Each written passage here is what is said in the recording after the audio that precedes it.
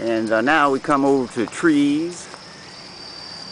We need vitamin D, but we also need the trees. And I finally found this. I was going to read, I said I was going to read the Bible, but I found this really good place.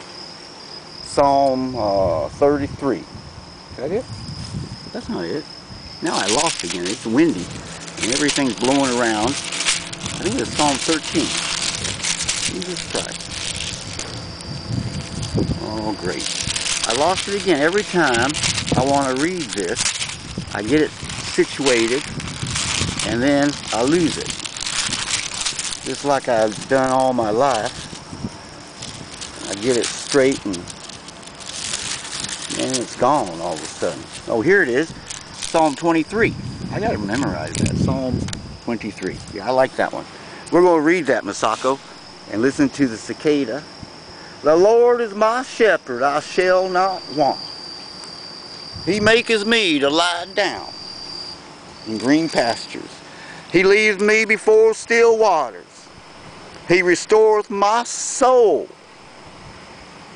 He leadeth me in the paths of righteousness for his name's sake. Yes, though I walk through the valley of the shadow of death, I will fear no evil, for thou art with me. Thy rod and thy staff, they comfort me. Thou preparest a table before me in the presence of mine enemies. Thou anointest my head with oil. My cup runneth over. Surely goodness and mercy shall follow me all the days of my life, and I will dwell in the house of the Lord forever. What do you think about that, Masako? That's a nice one. I like that. Huh? You like that? Uh, want me read some more? I can continue here. We'll just continue. I read this several times for you. You remember that? Well, anyway, what do you think? We got to get you to start talking now. Do you like that?